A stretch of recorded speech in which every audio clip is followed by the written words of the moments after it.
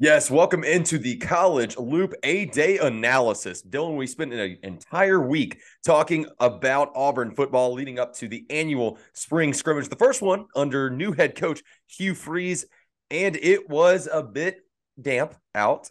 Um, some might say I was. Uh, it was chilly, it was cold, it was wet, and uh, people were slipping and sliding all around. TJ Finley at one point went on a slip and slide ride right down the middle of the field, which was like I un- unironically very funny.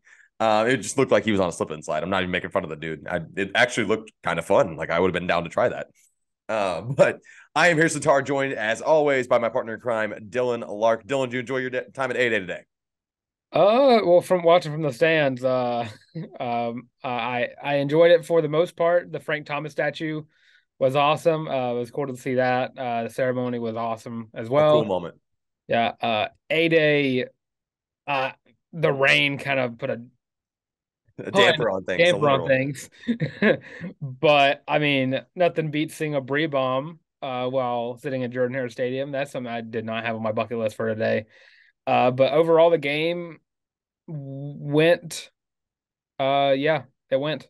I, I actually, I'll be honest, I actually kind of found it enjoyable. I thought there were some some interesting parts. There were um, a lot of interesting parts, yes. For uh, for but, football gurus like us, uh, I thought it. I thought I thought it was enjoyable but when we talk about that first position we're going to talk about today, uh, are we starting with quarterbacks? Yeah, well, we'll go and jump right into it, Dylan. I'm glad you glad you glad yeah, you got. Because let's, like quarter, quarterbacks were, mm, yeah. I mean, I mean, let's let's just let's just be honest. It was slippery. It was wet, and and, and Hugh Freeze even said in his in his post game. I'll use that in air quotes. That's the best way I know how to say it. Um, post game press conference uh, earlier, or I guess after the game, uh, about about this team that they wanted to throw the football more today and they couldn't because it's raining. And and you know what? That's actually not terrible practice if you want to spin zone it a little bit. You're inevitably going to have a couple games where you're playing in some in some crappy weather. Yeah. And and um, it's it's not the worst thing, and, and it really played to the benefit of that run game today. But as far as the quarterbacks go, that's where we'll start with Holden Geriner, T.J. Finley, and Robby Ashford. They were combined five of twelve for sixty yards and uh, forty-two percent completion rate today. Now, your standout moments was Robby Ashford uh, connecting to Tar'Varish Dawson for a 39 yard strike, and that was a dot of a pass. Uh, I don't want to have a callback to the Iron Bowl in 2022, but it, it really was uh, reminiscent of of that kind of accuracy and and and the kind of accuracy Auburn fans are hoping to see out of Robby Ashford this year. Uh, he was really strong with the RPO, in my opinion. I thought I thought that that Robby made the right calls, which you know he's going to tuck it and run more than he's not, but I don't want to read too much into that, and you can't. Let's keep in mind it's a spring scrimmage, Dylan. Yeah. Tell me I'm not crazy here, and and and and, please at least echo me and, and acknowledge acknowledge this. I thought that his his his presence of mind in the in the RPO situations, he looked solid, and you're gonna have to tuck it and run in rain games. Oh yeah, for sure. Uh, I think that's Robby's bread and butter is the uh, run game, and I really think he showed that today uh, with his ability. You know, if the pocket bre- broke down he gave he gave it a chance. He gave the offensive line a chance, which something we didn't see from last year's Robby.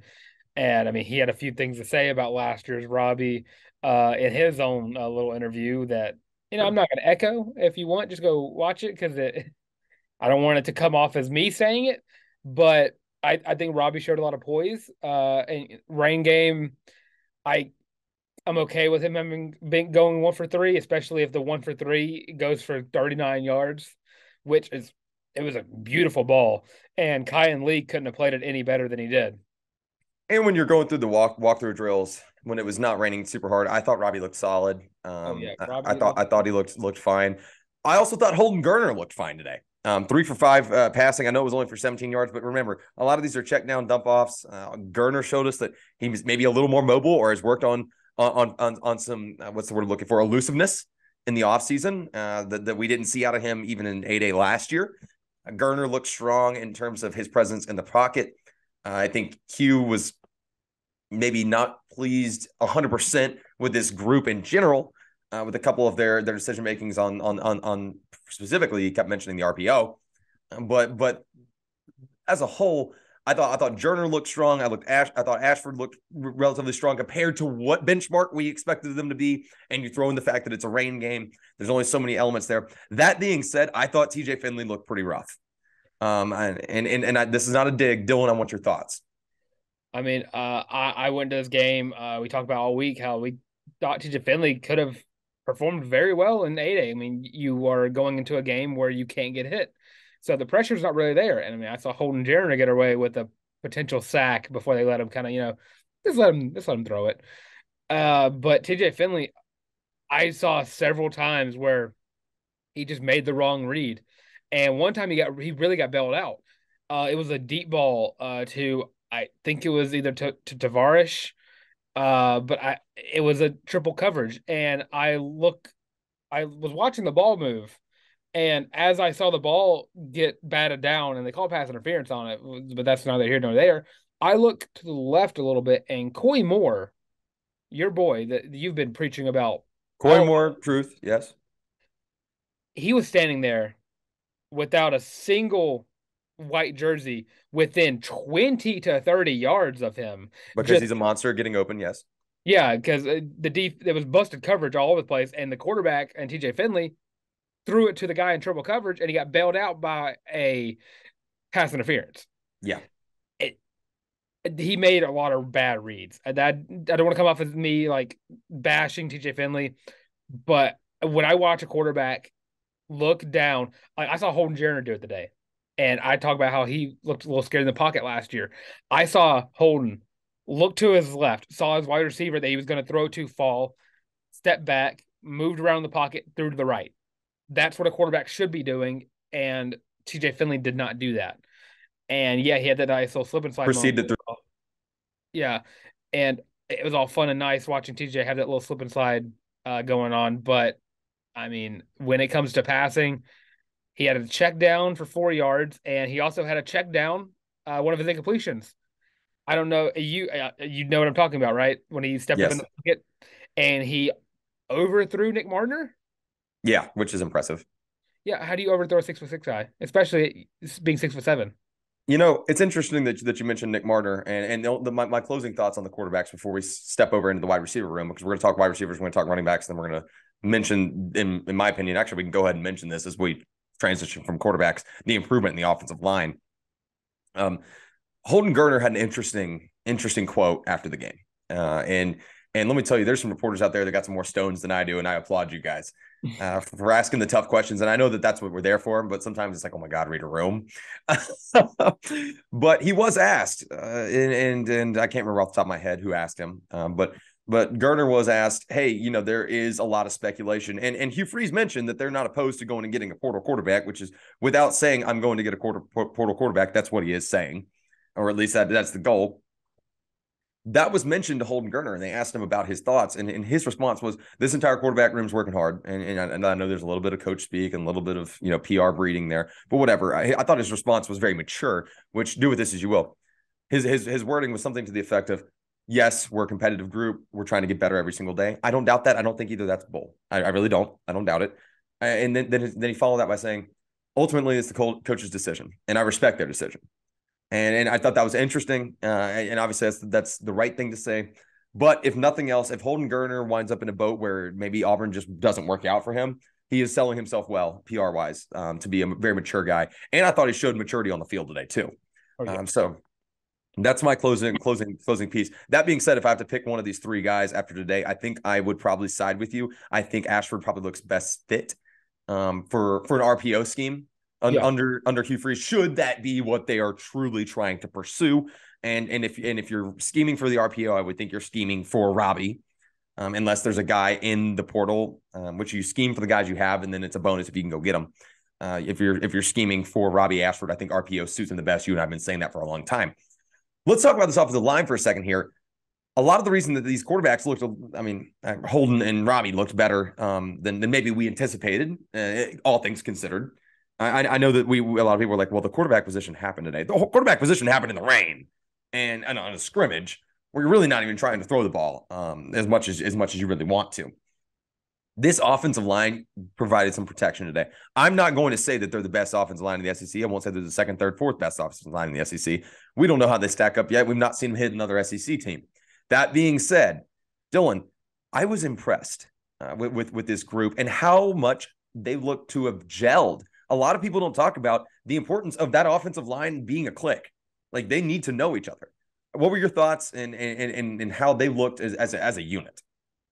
I mean, it's very rare in uh, my years of watching Auburn football that I can actively look down and see, wow, he's got time in the pocket. That's like what when I when I brought the Holden Geriner making that read, looking to the right uh, or looking to the left, seeing the receiver fall, and having time to look to his right.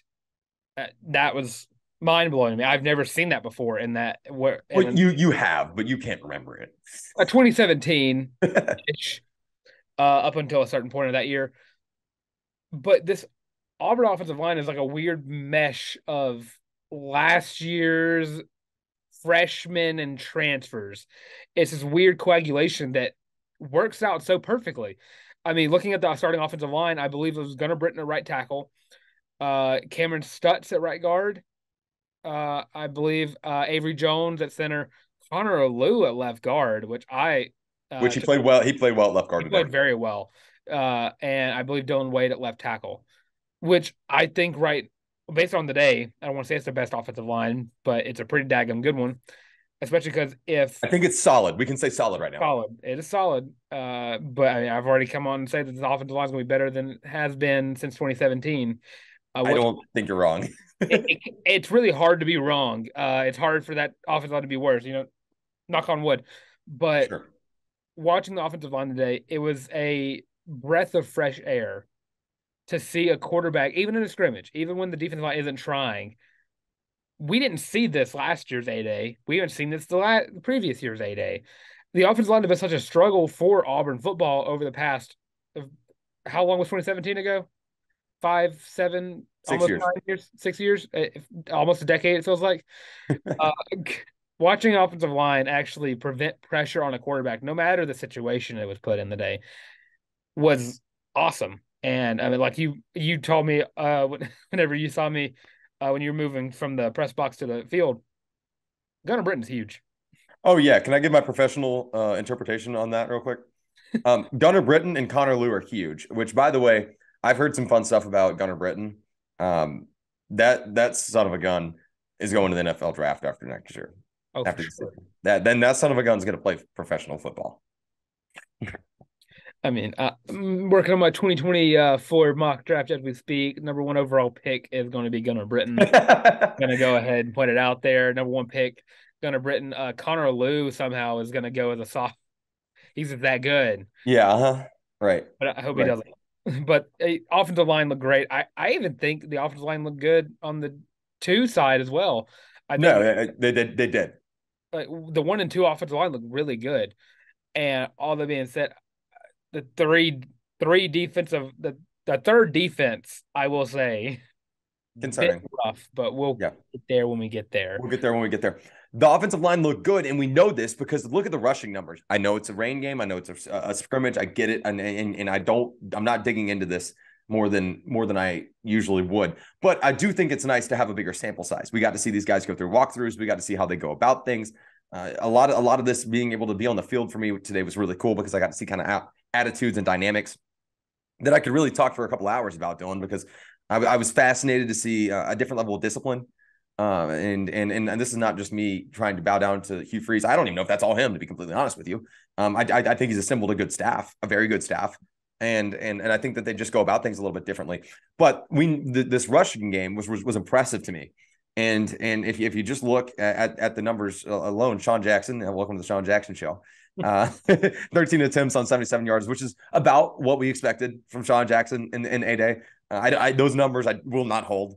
I, I, I feel strong in that, but he he looked physical. He looked good as a physical runner, as a guy that if if some some of these backs, some of these your Damari Alstons, your your your uh, your Jeremiah Cobbs, if they get banged up and you need a guy that can really kind of run behind the pads, and then I, I, I guess you throw Jarquez Hunter in there. I just think they're different style, but Sean Jackson looks solid. Um, Maury Alston looked solid. Five five attempts on on on 43 rushing yards. Uh, I mean, you didn't really see anything out of Jarquez. You saw four touches. Uh, Jason Jones, uh, he had 11 touches for 50 yards. Uh, I, was, I guess this is all to say, Dylan. I'll, I'll give you a two part question here. One, how much does this speak to the improvement? You, you still got me right. I'm, i have a little banner that says internet connection unstable. Just want to make sure. Uh, yeah, it cut out for like a little bit. Uh, I just, just cut it out. But to answer your question, the the parts of the back room that really stood out to me was yeah, Sean Jackson he popped off, but he popped off last year's A too. Sure. Eight A eight A's made for those fourth and fifth string running backs. Right. Because uh, you you don't want to get Jarquez hurt. No. Uh, even then, Jarquez averaged six yards uh, and six point eight yards for his four carries. But looking down, the Damari looked really good. Looked awesome. Uh, and I can't think on the dime of the last time I've seen an Auburn running back take a take get the ball, take a step, see the didn't see a hole, and then did a full 90 degree turn to the right to go around the offensive line. Crazy. I mean, I turning on a dime doesn't like just happen. Video game in the rain, especially in the rain. Mm-hmm. Like that that's wild to me that he did that without tripping or falling or anything. And I mean, Sean Jackson even slipped and fell on his butt uh, in like the uh, third slash fourth quarter, whatever that was over there. But it also goes to stand if you look at the rushing numbers. Robby Ashford put up a lot of rushing numbers too, and I know we're talking about running backs right now, but it's kind of hard not to bring up him, him in the running uh, because he rushed 38 yards, and I I think the I think Hugh and the refs kind of did a good job of kind of letting Robby run it a little bit. You know, last year whenever Robby went to go uh, take off, or you know when D Davis a couple years back, it looked like they didn't want him to run at all. It's even like you can't hit them. You touch them, they're down. Right. It, like this year, they they were a little bit more adamant on you know, Robby's kind of he's going to be hard to catch. He's hard. He's a hard quarterback to put your hands on, anyways. And it's like if you get a finger on him, it doesn't really count. And I think they did a good job of making sure that hey, when Robby gets going, just let him go. Just let him go until someone's actively going to hit him, and then stop the call the play dead. And I, I think Brian uh, Battie Battie uh, p- take pick your poison. Take your pick. We call him really. Uh, I I think he performed very well. I, the running back room outside. Uh, I've just stopped putting Jarquez on the map, even though I think he did very well for what he did in his short. I lost time. a bet about Jarquez Hunter, by the way. You lost a bet about Jarquez Hunter. What, what were you? What were you betting about Jarquez Hunter with? As you're in, off a little bit. I'm sorry. What, what, what was the bit about Jarquez Hunter? My ass. Oh, oh, I'll, I'll go. I'll go. Sorry, I had to riff for a second there. I'll have to reset my, my router after this before the next show. Before you guys get more content, yeah, uh, right here on the on the college loop. My apologies. Of course, I have a beautiful setup today and don't have the Wi-Fi. Go figure, right? This is how mobile works. Uh, but I did have a bet with Ethan Miller. Uh, I said that Jarquez Hunter was going to have three carries, and uh, uh, Ethan Miller said he was going to have uh, going to have at least four carries. We bet a handshake on it. So I did owe Ethan Miller a hearty handshake after the game because there were four carries and uh, I felt pretty good about the under of three and a half carries and uh, he got four. So so here we are. That being said, running back room looks strong. Let's talk about receivers for a second. I'm sorry to, if you need to complete the thought, feel free. I, you cut out for a second there. Oh, it's fine. Uh, I pretty much just talk about ripped about how they gave Robby Ashford the chance to run the ball as uh, you go you going in and out. You're good now. Wide receivers. Uh, can, uh yeah. Yeah, we'll, we'll hop over to the wide receivers, and I'm gonna I'm gonna try to put the ball on the tee for you, and we're gonna try to resolve this whole this whole conundrum, so we can we can keep the good content rolling. Of course, I, like I said, it sound good and look good, and then of course this happens with a fresh college loop T-shirt on. By the way, gotta gotta gotta rep it. Shout out to Dylan's girlfriend for hooking us up. If you guys want one of these, let us know. We could probably hook you up. That's probably not a problem, and um, we can we can make that happen. Hmm. we know a guy. Anyways, let's talk about this receiving group. Uh, it looks like your your ones are going to be, you know, Camden Brown. that's that's a given. Uh, I think I think Koy Moore is going to find himself in that one one group, um, and Nick Mardner and Rivaldo Fairweather. That's that's the receiving tight ends. I'm, I'm throwing them all. Football catchers, primary football catchers, pass catchers, if you will. yes, yes, yeah, yeah, catchers of of the passing of the footballs. Uh, that that looks like that's going to be your ones there's no way to be blown away by this group in a rain game, but there was a way to be disappointed in Landon King. Yeah, there were a couple of those. Uh you go into the off season and all you hear about is Landon King return. Landon King is back. He's back. He's gonna get better. He's gonna be the guy. And uh the spring, the whole spring in general has kind of just been the opposite of that. And honestly, it's kind of hard not to put him up there in the category of most overhyped players Auburn's had in the spring because hopefully something changes over the summer and and uh, when he comes back in the fall he's just like a monster but I mean, I saw it in the Mon- Monday practice. I saw it today. Rain or not, you have those gloves on, and I've those football gloves are. I mean, it's illegal in the ML in the MLB, but there's some sticky stuff on those gloves. And rain or not, those passes were catchable for Landon King for a guy who's such an athletic monster. Like those passes were catchable. And I, I know it's a rain I, game. Yeah, I, I don't disagree. I, I don't I don't disagree. I was I was also I I, I want to almost say equally as disappointed Nick Mardner. Um, I wanted to see a little bit more out of him today. I know I, I get it. I perspective. I, I keep saying that, and I, and I have to keep checking myself there because I don't want to overreact. But I did expect a little more out of Nick Mardner. Then again, he only got three targets in a rain game, um, and and and and two of them were iffy. Uh, footballs, oh. whether or not you could even catch them. Well, one of them was the overthrow by TJ Finley. Uh, yeah. So he he might he probably would have got ten or fifteen yards on that one alone. Yeah, so. yeah. There there there is that. It'll be interesting to see. I'm still firmly on the Nick Mardner can be a very very very talented wide receiver at Auburn trained. So I'm not not gonna dig too deep into that. Let's look to the other side of the football, Dylan. And I want to start with the jack, if that's okay. Um, the jack position. Oh, fully down. Um, Elijah McAllister starting. Uh, I, I, I, I, this is the one thing that I'm going to pull away from A Day, and, and, I'm going to go ahead and, and, and lock this in unless I hear differently over the over the course of the summer and fall camp. There's a reason you bring Elijah McAllister in. I thought he looked solid today. Um, two tackles, both solo tackles, uh, and, and playing with the ones. Keldric Faulk certainly going to be a force to be reckoned with. Uh, but but Hugh even mentioned that he likes Keldric a lot. Uh, that being said, there is a reason they bring these guys in, and and it's not always just because they're warm body. Clearly, uh, the the Auburn defense and, and Hugh Freeze's staff thinks Elijah McAllister can play football. I think Elijah McAllister can play a very high level of football. Curious to get your thoughts on the jack position before we slide over to the rest of that defensive line. Oh, the jack position. Uh, I mean, it's I honestly watching it today, it's got to be one of the most loaded positions that no one's talking about. Because uh, Keldric Faulk, uh, as you brought it up, Hugh likes him, and it's really hard not to like him. Because uh, oh, how do you not? The potential is whoa it, through the roof, through the roof, uh, through the ceiling, through the clouds. Uh, it's in the uh, atmosphere as we speak. That's where the potential is for Keldric Faulk. uh, but I mean, we talk about a lot. We thought we we think still probably that Keldric Faulk is going to be battling out for the starting position all the way to fall. He and can still win it. He can very well still win it. And I mean, when you look at it, Elijah McAllister does have more experience than Keldric does, and it's kind of hard not to bring in an SEC guy and not give him the nod. Uh, sure. And, and look at the looking even deep in the jack position. Dylan Brooks is still very talented, but when you look at him, he doesn't have the experience that Elijah does, and he doesn't really have the potential that Keldric does. Uh, no offense to Dylan Brooks.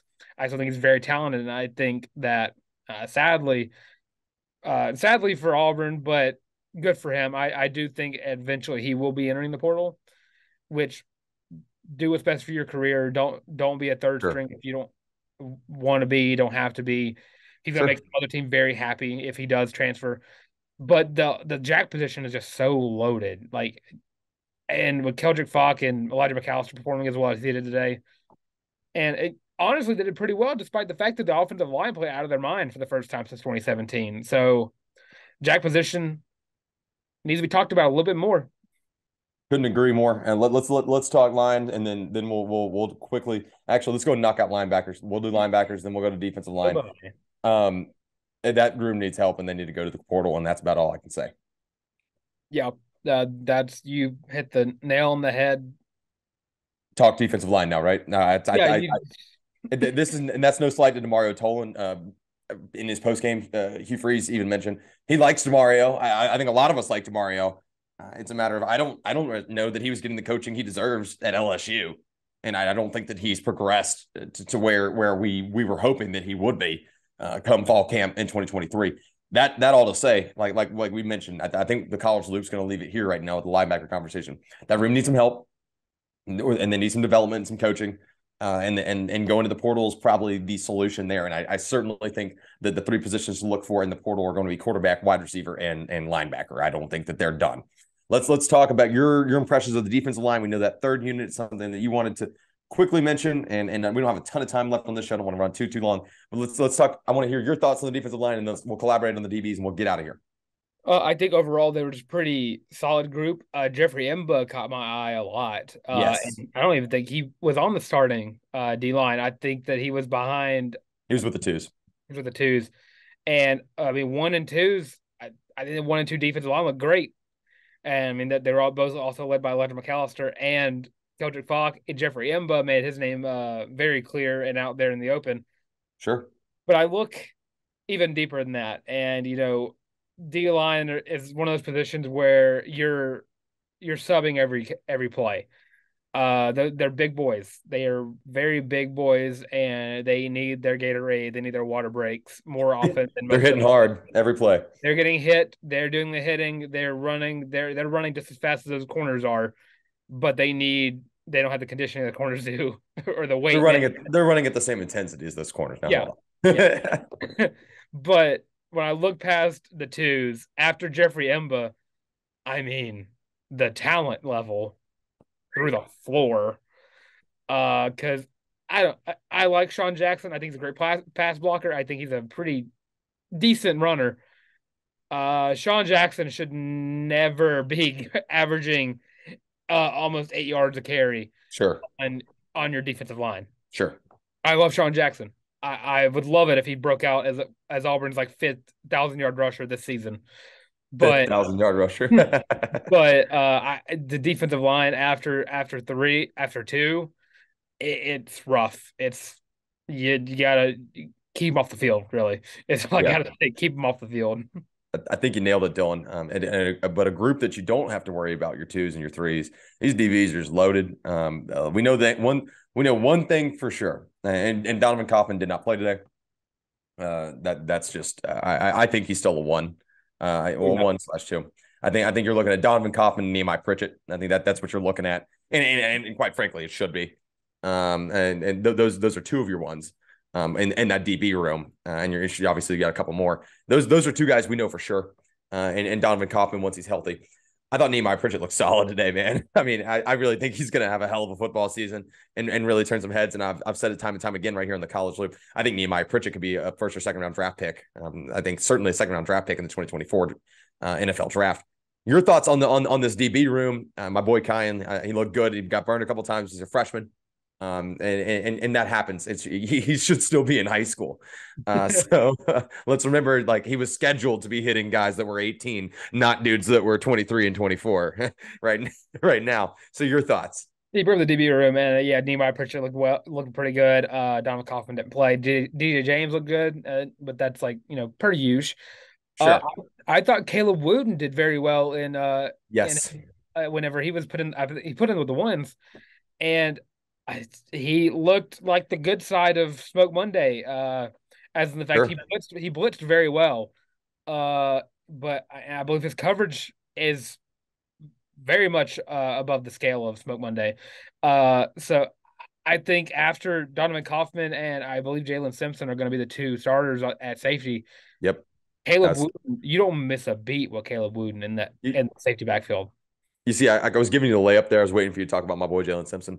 Simp looked good, man. Um, I, I thought Simp looked great. Um, that was one of those situations where I was kind of curious to see how he trans- transitions over into this new defensive scheme. We knew when when he he and Nehemiah said they were coming back that, that that's, this was going to be a big addition to this Auburn secondary, or big retention rather, um, to this Auburn secondary.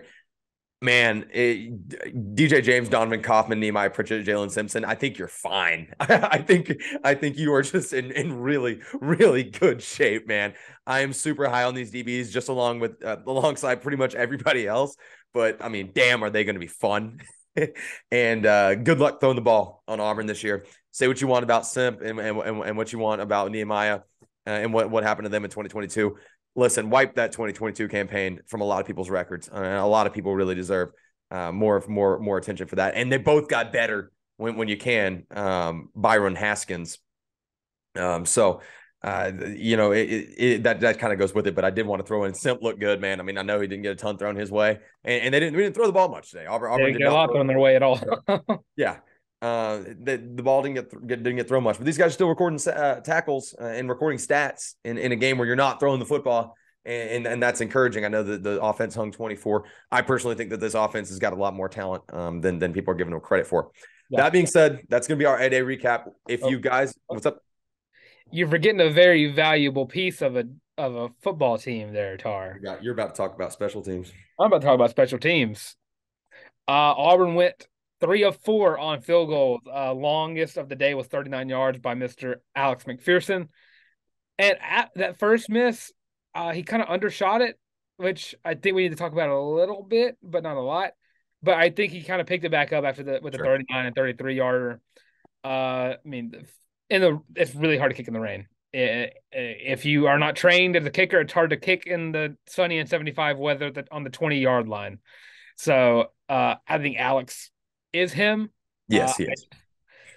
Uh, the rain really hindered that 49 yarder zero zero concerns on that on that front and also um uh i mean yeah it's it, i'm gonna go and make two excuses for alex one it's just uh, there's an element of nerves um just because the starting job is inherently his this year and there's very high expectations and two um as my dad would say is slippery more slippery than owl crap uh out there you could see the water kicking up when he was kicking the field goal so that that that being said, no reason to panic. Very very excited for his future. I think he's going to be uh, wind up on that top five scoring list at at Auburn. So that being said, that is the college loop rundown for a day. This was our takeaways. I'm sure we'll be talking more a day uh, recap as as we go along, and and Dylan and I get to go do film study. If you guys want to see our A day superlatives in terms of offensive MVP, defensive MVP, and overall A day MVP, we will be giving that on the regular show. That's on Sunday. That's coming out today. Happy Easter to those back, uh, those who are listening on Easter Sunday. If it's not, then hope you had a good Easter. Uh, thank you guys for for tuning in. To all of our new listeners on the loop, welcome to the loop. We're super excited to have you guys here. We met some folks today that are super super cool guys and gals, and we're really excited to bring them on to the college loop and have them talk about what they do, how they tie into the Auburn family, and and how how they contribute to Auburn athletics beyond football. Man, I mean, we had a really really good. We had ourselves a day, as as I said on my Instagram caption. That being said, I am Harrison Tarr at by Harrison Tarr on Twitter. Check out all my written work at the Auburn Daily. That's auburndaily.com. You can check them out on Twitter, Facebook, Instagram, the whole nine yards. More of my I guess podcasting content can be found on the Auburn Daily Show every Wednesday and Friday, Wednesday with Dylan Larck, Friday with the legendary Lindsey Crosby. All the rest of my work is right here on the College Loop every Tuesday, Thursday, Sunday. Dylan, tell everybody where you're at, and then we will stop recording this one and get right back on the mic and do it again. All right. Well, I'm Dylan Larck at your boy the tank on Twitter. It's at Y A B O Y the tank. And if you're watching, it's going to be right below me on this video. And you catch me on the Auburn Daily Show every Monday with Lance Daw and Wednesday, of course, with Mr. Harrison Tarr over there. I know he's not your favorite co host of the show, and it's me, but you can go check out the show. Emily anyway. Ellis, you were so mean. and of course, go follow the College Loop literally everywhere. That's YouTube, Spotify, Amazon Podcast, Google Podcast, Apple Podcast, sorry, Amazon Music. There we go. And of course, you got socials Instagram, Facebook, Twitter, TikTok, the works, but Tarr, no MySpace. Like, subscribe, ring the bell, no, no MySpace. Exactly. And with all being said, there's been the College Loop reaction to A Day.